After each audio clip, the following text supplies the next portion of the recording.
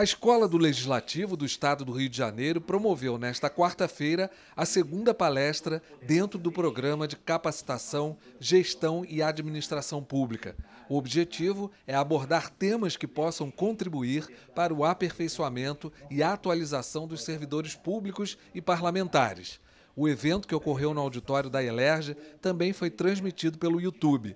Dessa vez, o tema abordado foi a Lei 14.133, aprovada pelo Congresso Nacional em 2021, que trata das licitações e contratos. Na palestra, o professor Augusto Moutella, doutor e mestre em Direito Público, explicou que a nova legislação modernizou a lei anterior de 1993, que tinha muitas informações e pouca praticidade. Houve uma faxina importante, ou seja, modalidades já antigas que traziam uma enorme contraproducência para a administração pública foram substituídas por novas práticas que vinham sendo feitas, mas não ainda dispostas na legislação. Então, trouxe simplicidade, trouxe sem dúvida nenhuma é, um cenário mais otimizado, com melhores formas de contratar, melhores formas de licitar.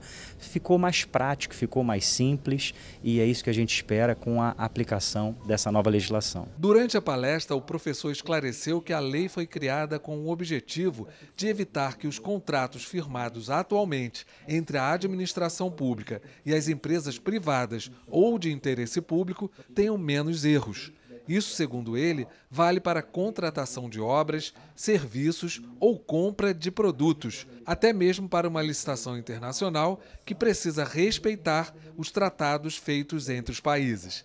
Ele alertou que a lei entrará em vigor em dezembro desse ano para que os estados e municípios possam se adaptar às novas regras. A dica, segundo ele, é sempre consultar as procuradorias, as controladorias ou tribunais de contas para evitar possíveis problemas de ordem jurídica quando algum contrato for firmado. As pessoas que precisarem saber um pouco mais dessa lei, elas têm que procurar o que exatamente?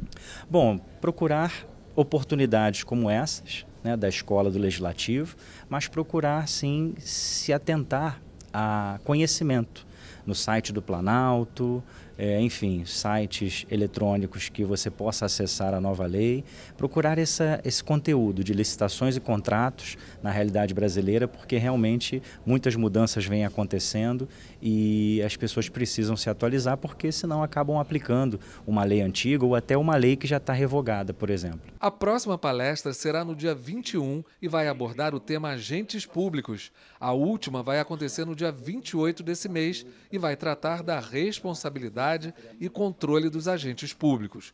Devido à grande procura, a direção da Elerge decidiu prorrogar as inscrições para quem quiser acompanhar pela internet. Há uma demanda, né? a gente está com curso voltado para os agentes públicos em especial, até por conta também de mudança na legislação, por exemplo, da lei de licitações.